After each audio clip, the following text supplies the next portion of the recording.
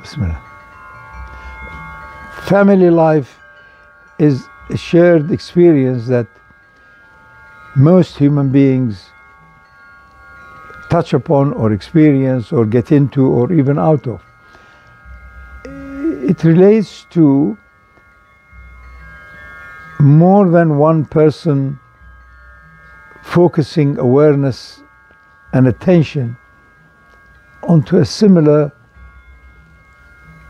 important experience, especially when it is to do with a bit of a danger or something very different, a hurricane or winds or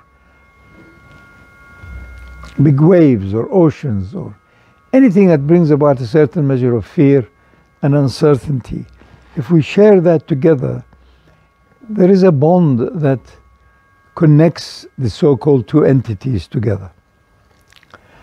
This is quite common and you find that people who fought wars, especially in serious situations like trenches and so on, they establish a very strong bond with each other.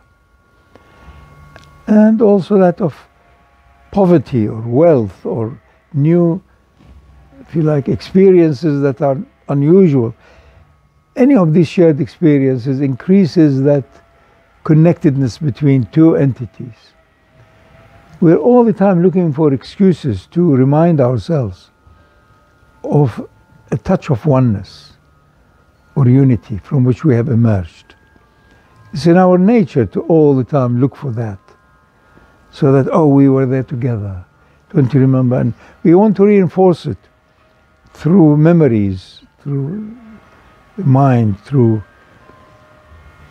photographs, anything else that reminds us of that unitive connectedness. It's natural. We've all, all emerged from one, whatever that is, however you can imagine it. And our destiny is also one. We return back to that infinitude where there is no more clear identity or individuality got back to that energy field rather than the physical material boundaries.